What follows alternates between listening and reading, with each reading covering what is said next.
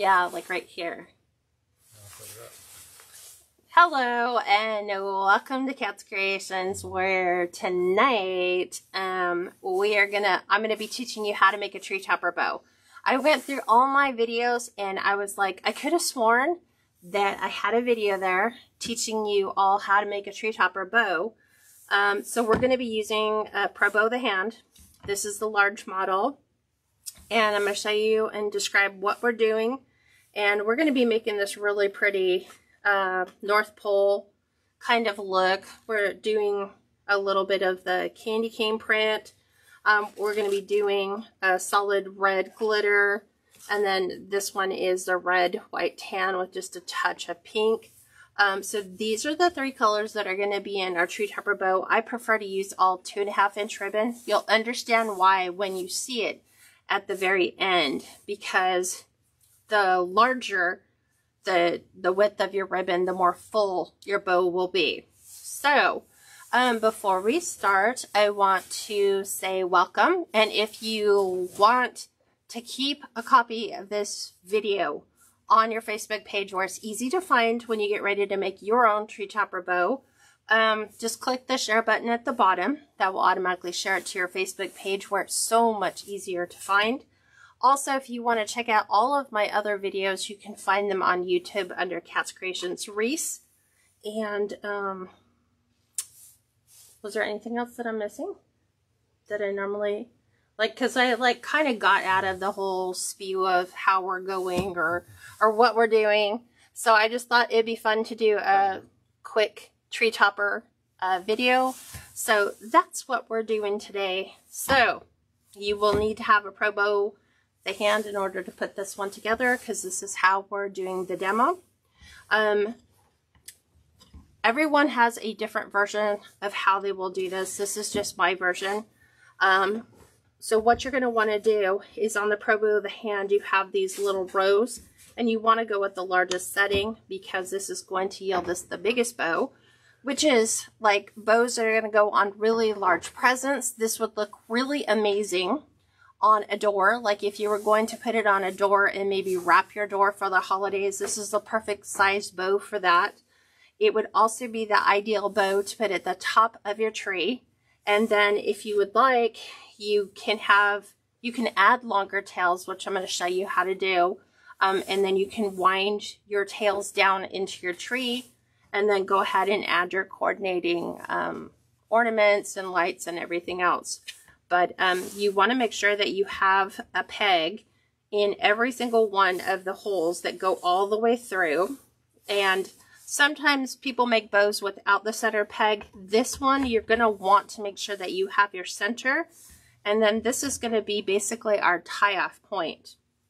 So all of the ribbon, um, this one came from Kringle Designs.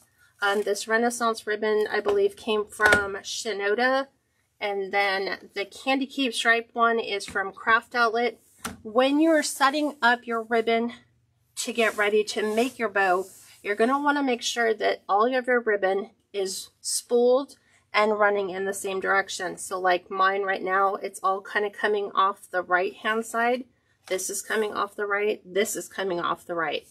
You don't want to have like one coming off the left and then other ones coming off in different directions. You want them all the same so when you're pulling them, you're basically saving yourself an extra step and doing three at the same time.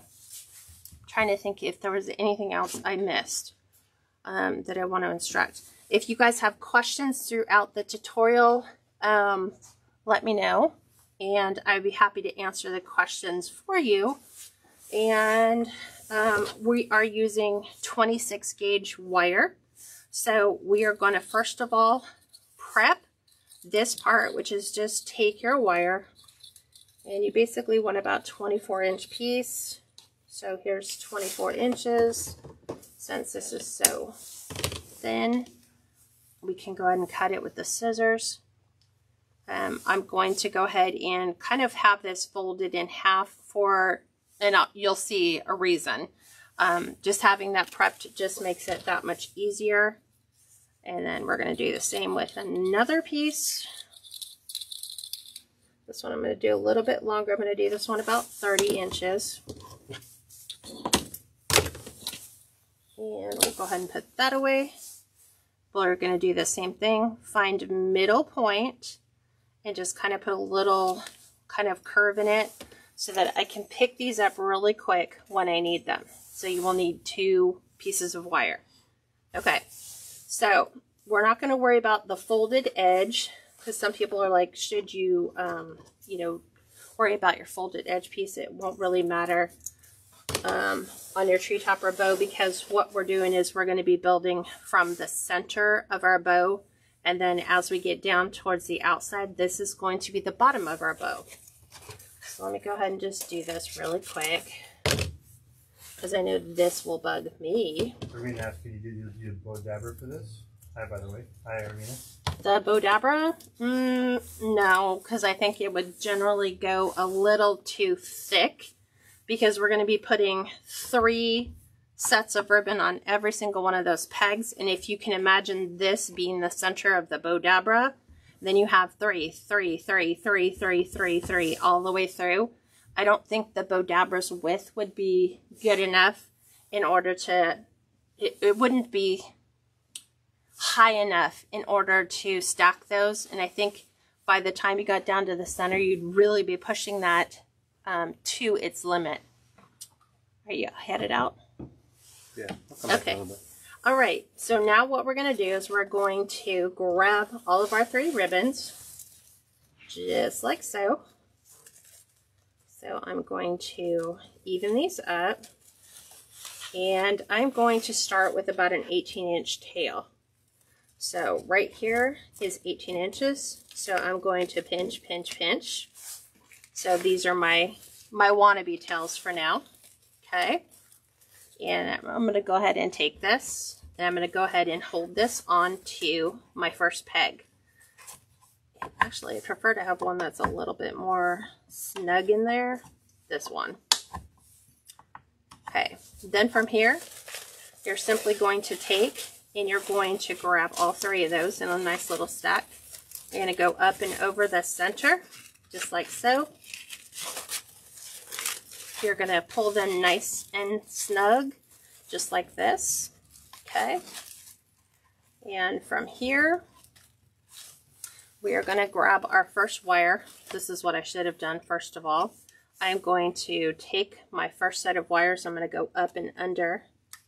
Oops trying to get that up and under.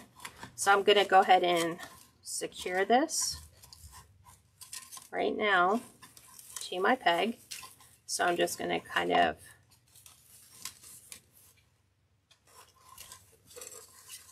we're going to twist this on here a couple times. So I'm not really good with the whole floral wire thing, especially when it's a thin wire. It's just hard on your hands when you get older. And I'm going to wrap this one around all the way up to the top. So all I've done is just secured my ribbon to the peg. And then this one here at the bottom, there's a little nail at the bottom of the Pro Bow. And we're just going to wrap this wire here. We're going to tuck this right underneath our board so we don't get that wire confused with anything else that we're doing. Okay. Now, we've gone ahead and added our wire here. We're going to go to the center. You're going to pinch that ribbon to the center. It's going to get really super thick. And I'm just going to move these out of the way for now. Just so they're not impacting anything that I'm doing. And just like we're doing it with the, um, whatchamacallit, uh, the Pro Bow, you always want to make sure that you're doing a twist so that our nice right side of the ribbon is to the outside. So now we're going to come up. We're going to go over this first set of pegs. Okay. Pulling it pretty tight. See, then I can let go. Once I get it around the pegs, I can let go. We're going to pinch. This is really super thick ribbon. Pinch here. Okay. I'm going to flip this over. I always have to make sure that I'm flipping it in the right direction. Nope, had it the right way. Flipping it here. I'm going to go up and over your peg. Here's our peg. Okay. This one kind of came off. It unspooled. But that's okay. Back to the center. Every time we're at that center, we're going to pinch. And now, because we've already got, it's starting to get really thick, we need what's called the helping hand wire. So at this point, we're going to take this wire, you're going to feed it under the left or right, it doesn't matter. I'm just trying to pick this up enough to feed that in. This is why we put that center loop in there. Okay. And I'm just pulling the ends of this tight so that I have them even evenly dispersed because all that ribbon is going to get a little hard to hold. So we're going to take and we're going to twist. Why is it that every time I go to do that, I can never twist and get it on there tight enough? I always end up letting go. Tight. There we go. I'm twisting it the wrong way. Right here, twist. And then I'm going to have one kind of come up to the top and one kind of going down here on the bottom. So that all this is going to do is start holding all of my wire towards that center peg so that I can let go. I can grab my stack of ribbons and then subsequently place those over the pegs Pull them nice and tight. I like to wait until I get both sides on, which means this one and this one before I use the helping hand and tighten that back down. Let me go ahead and put this one back on here really quick. Kind of got upside down. There we go. Back on. There we go twist. Okay, we've got to get this pretty side back to the outside. So I'm going to flip it over. Grab all three. Loop it over. Keep your stacks nice and tight. Pull it nice and tight. We're back here to the center. We're going to gather, pinch, Okay. So I'm going to flip this over. And remember that up and down wire I had? This now I'm going to take I'm going to pull it nice and tight, twist it, back up, one at the bottom. Sorry, my Bowdabra's sliding. There's that. So all this does is give your hand a break so that you can grab the very next set. And now we're going to loop, loop, go back. And then every time we're going back to the stack, we're going to um, use our helping hand wire so that we can free up our hands again. Okay, back here, up and over, nice and tight. So keep those loops looking amazing. Okay, we want to pinch, get everything down, twist so that we've got the bottom up. We're going to go up and over our peg, pull our stack of ribbons tight again, back to the center.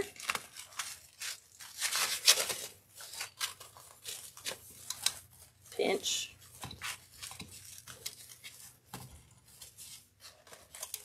Okay, get them to where they're ready to flip. Now we've got the top wire right there. Keep grabbing the wrong wire. There we go. Here's the bottom. Here's the top. We're going to take, twist those nice and tight so that I can let go of that stack and then get ready to put my loops back on nice and tight pull them nice and tight going past our peg point. Pinch, pinch, pinch. Flip it up. Okay. Go up and over our peg. Pull it nice and tight. Pinch, pinch, pinch. Flip it up.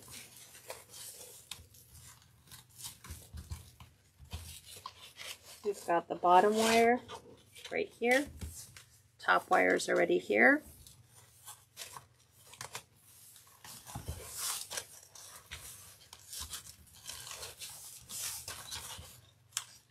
This is why I love pipe cleaners when I'm building my ribbon. Back up, back here. Hang on just one second. Let me make sure I'm getting your questions. Um, Charlotte says the wires make it too complicated for me. What the wires do is basically just give your hands a break. Because sitting here trying to hold this all while you're building it would just fatigue your hands. So this is what's called a helping hand wire. So we just pull this back, restack my ribbons so they're all nice and pretty.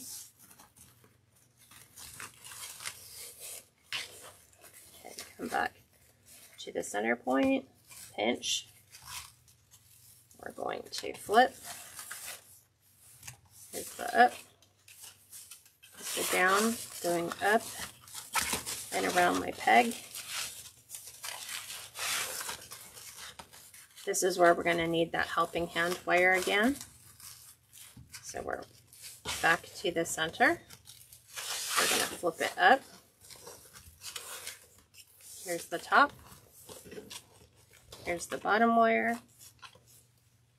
That's why I just call them the top wire and the bottom wire because all it is is to put a couple twists on there so that I can let go. Back over here, come back to the center point. See how thick this is getting? Because this ribbon is like really super good quality ribbon. So we flip, going over our last loop, pull this back to the center, we are going to pinch, flip this up. I'm going to use the helping hand just to secure all this right here.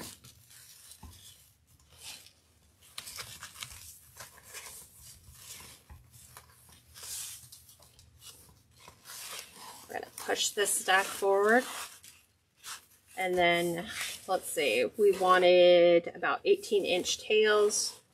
So let me just measure this from the center. This is about 10. We go all the way out. Let's see. Let me just measure my tails really quick. I'm to try to get 18 inches here. Right to the center of my board, right out here, we're at 18 inches. So now we are free. Okay, now we have this mess that we need to contain. So what you want to do is really trying to not impact my bow. You want to try to push it as far forward as you possibly can. Let me go ahead and do a couple twists more on this.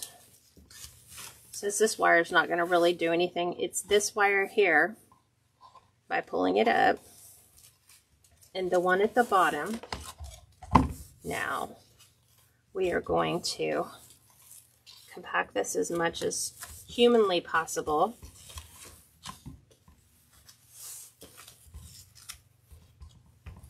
It's going to be a pretty thick stack.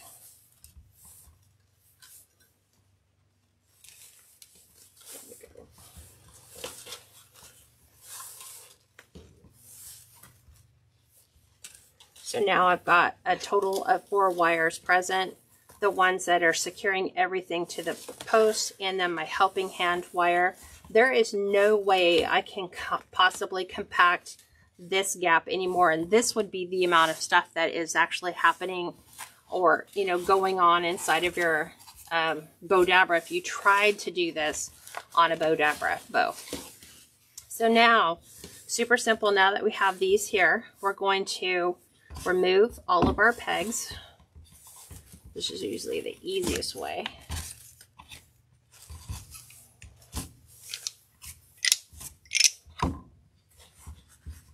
Some of these are in pretty tight.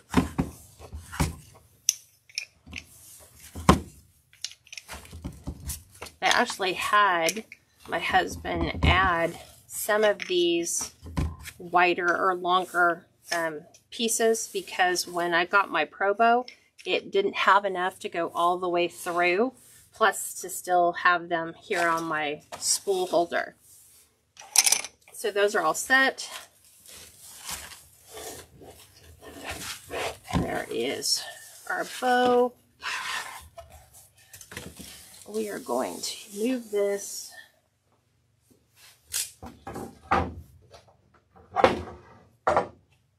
I'm going to grab my fluff board.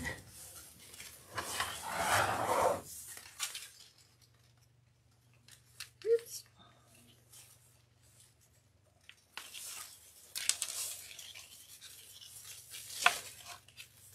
Let me just grab one of these wires.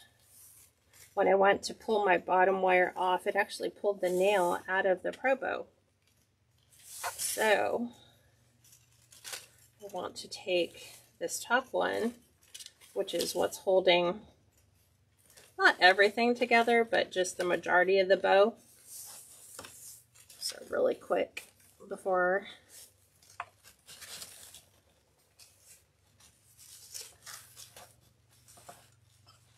go ahead and secure this.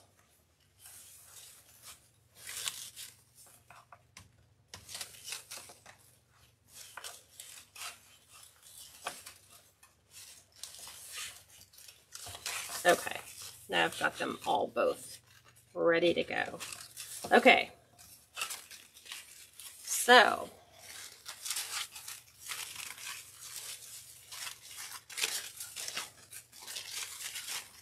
there we go. All right, now what I'm going to do is I'm going to hook this onto my fluff board. Super simple enough. We are just going to take these wires. I'm going to attempt to loop them under my hook.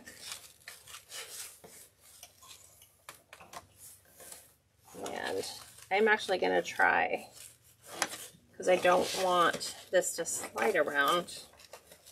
Should have made it a little bit longer so it would go to the end of my board, because I do have a nail peg here. I'm trying to get this on because I don't want to just have it secured on there just by one wire. And there we go. I like to turn it sideways when I'm fluffing because just like what we do on our um, fluff board when we're building it like from the Bowdabra point of view, we have one, two, three, four, five, six, seven. Then we have one, two, three, four, five, six. So this is our center, okay? So we are going to start from the bottom when we fluff, and we're just going to pull out. I'm going to start with the candy cane stripe. Then I'm going to go with the red, and then our North Pole is going to come out here. And, and I prefer to work one half of my bow at a time. So we've got that separated. And so now I'm going to grab the red from my stack. So I'm just going this way. So red is going to come out here now. Here's my red. Then I'm going to do the North Pole and then my candy striped bow. And then we're going to do the North Pole. Then we're going to do the candy stripe. And then the red. So we're just separating our trio of loops as we work our way down. Then we're back to candy cane stripe. Then red and the North Pole. Okay. And then from here, we're doing red. Hmm. Right here, North Pole, and our candy cane stripe. Just like so. Okay, now from here, this is our center. So really quickly, I'm going to just use this. I'm going to do candy cane. We're going to do the red and then our North Pole. Just like so. Okay, I'm going to flip my board around so I can actually work the other side. Just like so. I'm going to take my tails. I'm going to push my tails to the center. And now we're doing the same thing. So I had the um,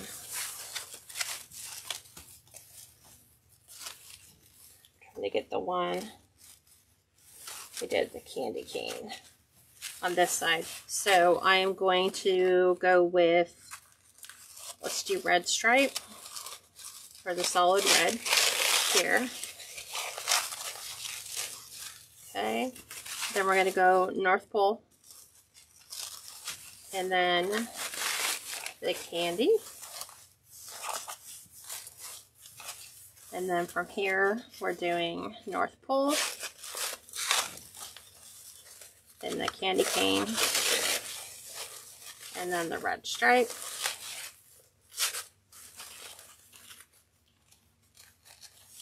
And then from here, we're doing candy cane,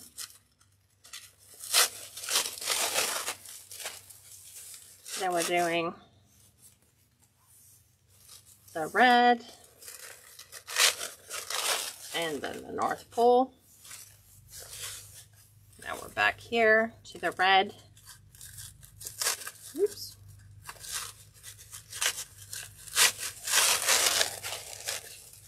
Candy cane, or not candy cane, North Pole.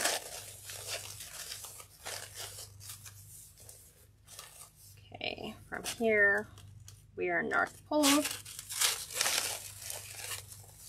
Then the candy cane. And then the solid red out to the side. And then lastly, oh no, we still have two more to go. So we are right here we're to do candy cane,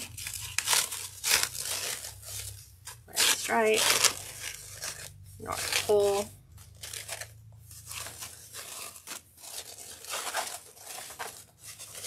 and then up here, red stripe,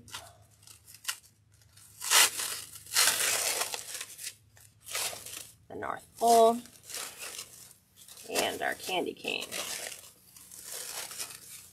And now we get to do all the fluffing and shushing. Because now we have a really full bow.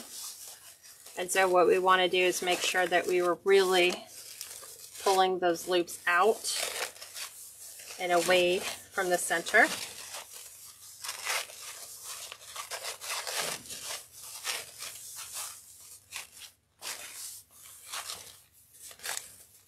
but you can see how incredibly full this bow is.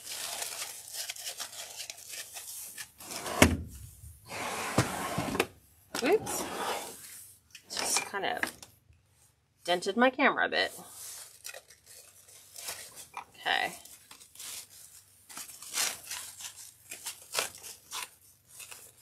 Everything up, everything pulled out.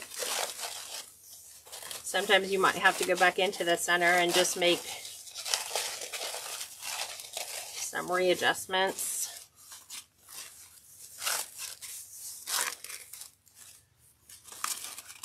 But you will get one incredibly super full bow.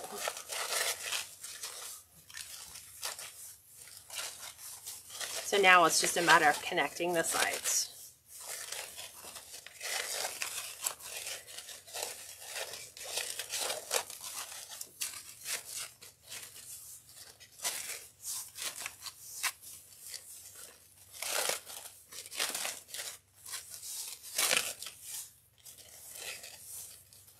And so you just fluff to your heart's content, making sure that, you know, ribbons line up where you want ribbons to line up. You can just reallocate, move loops around. Like if it feels a little thin, just kind of spread your loops out because you've got multiple layers in here that you have. Just like this. And then you have one gorgeous, incredible, ugh, I'm trying to think about how tall this would be. Let me grab a tape measure. And let's see, I want to say this is about a 10 inch high bow. But it would look gorgeous on your tree. And I think one of the trees that we're actually doing is a candy cane tree.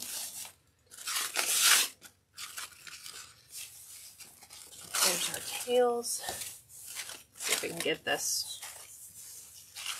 Let me flip this around this side.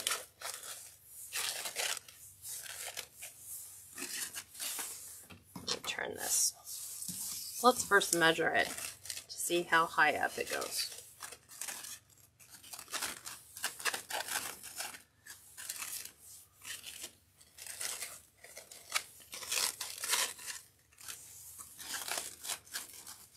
There we go. Um,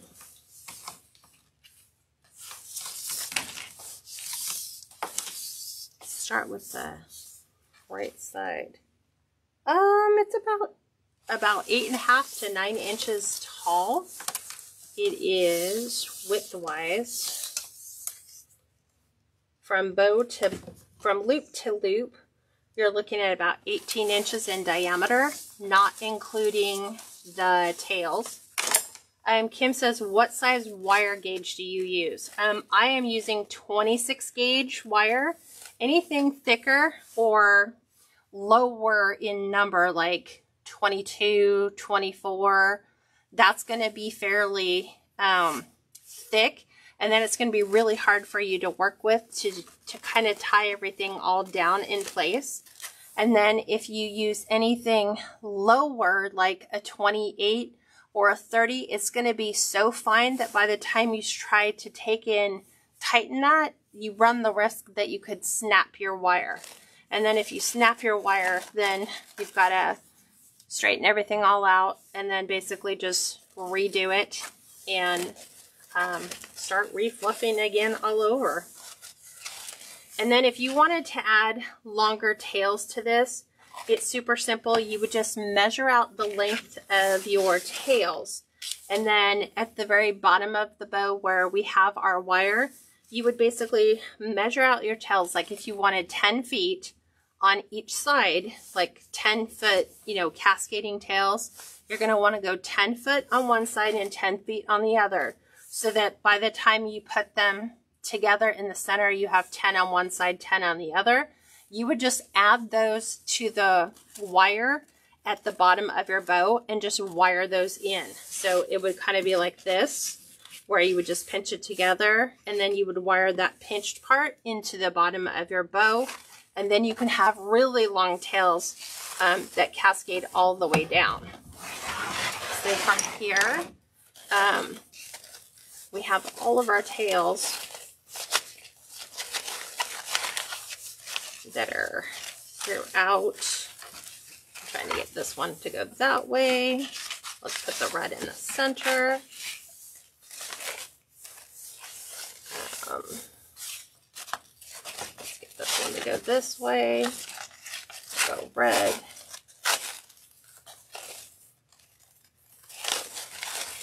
And you would just work all those back down and through and refluff. And then you have a gorgeous, what they call a tree topper bow. So that um, this is now ready to add to the top of your tree. So, and you would wire it on using the wires that we have the whole thing together. You would take those wires and you would just twist them around the top of your bow and then just go ahead and let your tails cascade down. This would probably be the point at which your tails are all cascading down because this is all our tail central post.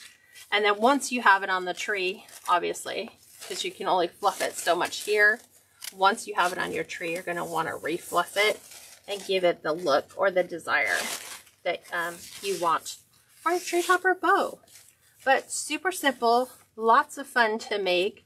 Like I said, if you wanted to use this as a door decor ribbon, um, on your interior doors, most interior doors are 24 inches in diameter or width. So on an 18 inch, it's going to be beautiful because you have six inches on either side with your tails cascading down. You could take your ribbon, um, run your ribbon across, and then run your ribbon vertical, tag your bow right into the center, and you have like a perfectly wrapped door. Or you can do it on a package. If you have a large package that somebody is getting for the holidays, this could be a large package bow, a car bow. This is what this is about as big of a bow as we could possibly get um, using the Pro Bow. So what questions do you guys have that I could possibly answer for you? I've been trying to um, answer them as I see them pop up. So I've got Kim's comment. Um, so I love making these. Um, and the Pro Bow the hand is pretty much the way that you can get a pretty concise ribbon without having to measure both sides. So as you watched as I was running it through the pegs, it's automatically calculating the inches on both sides so that when you go to fluff it, everything kind of lays down in that staggered look all the way to the bottom. So it's beautiful all the way through. So any other questions? Where'd you get the ribbon? Um, tam tamper really quick. Uh, the candy cane striped ribbon came from Craft Outlet. The solid red came from Shinoda Design Center, which is a wholesaler in California. And then the North Pole ribbon um, was from Crinkle Designs. So that's where all the ribbon came from. And I think that is it. So um, don't forget next week is Thanksgiving week. So um, I hope you guys all have an amazing and blessed time with your family and friends. Um, we will be running, what is it, Black Friday specials on Black Friday. We're also doing Small Business Saturday support. Um, there's something for Sunday. I forget what it's called. I always just say, you know, support your small business um, again on Sunday and then of course on Cyber Monday. So make sure you guys are doing that um, and taking advantage of those sales because they only come once a year. Um, happy Thanksgiving to you as well, Peggy. YouTubers, um, you can still participate in the sales. Just make sure you're going over to my website, which is katscreationsnmore.com you'll see lots of amazing holiday specials that'll pop up on um, Thursday and Friday, Saturday and Sunday. Um, but I hope you guys enjoyed this tutorial and I will talk to you guys all very soon. Have an amazing week, everyone.